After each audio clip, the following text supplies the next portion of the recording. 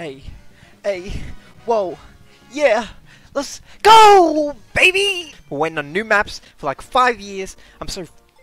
Ah, coconut mall! I'm about to get coconut mall. Let's go. I had to go with them last night, as you can see, but um, I'm here for y'all. We're gonna have some fun. We're gonna do our team. eh? We're gonna bust down on these races. We got Golden Dash Cup, Lucky Cat Cup, Shut up, bitch! Fruit Cup. Damn, like the cordial. Let's go. Look at those new maps. Tour. I don't know why they brought multiple maps from Mario Kart Tour. That game's pretty ass. Can't cap. But I'm keen for Toad's Circuit 3DS. First game to add gliders type beat.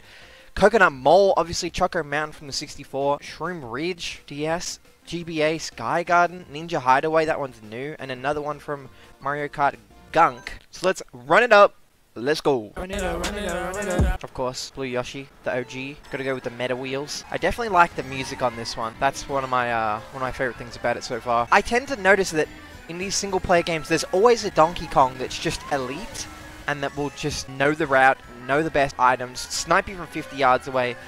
But headshot, you're done for. Type beat. A little frustrating, but you gotta do what you gotta do. See, he's already out here. Not today, son. I'm getting gold, three stars on all of these things. No worries. It's kind of hard. I feel like the maps are very strangely designed on this. See, like, I genuinely thought I had to go that way. Um, getting squidded on a new map is not the best of both worlds. Yeah, the Luigi's have been popping up multiple times too. Toads. I've been seeing a lot of the same repeat characters. I don't like that the map makes you change. I think that's a bit weird, like how it goes different routes and stuff. I mean, it keeps it interesting and it keeps it busy, but it's just strange. Kind of bung, if you ask me. Just a little bit bung. See, I don't like that the arrows point one way and you can just go a different way anyway. It's like you actually have to utilize a mini-map, which is something I feel like Mario Kart's never had before. But I suppose I have in Mario Kart Tour. I played the hell out of Mario Kart Tour when it first came out in school. Rifting, doing my ting. It's great. I gotta stop saying ting, because people will probably start to think I'm saying it unironically.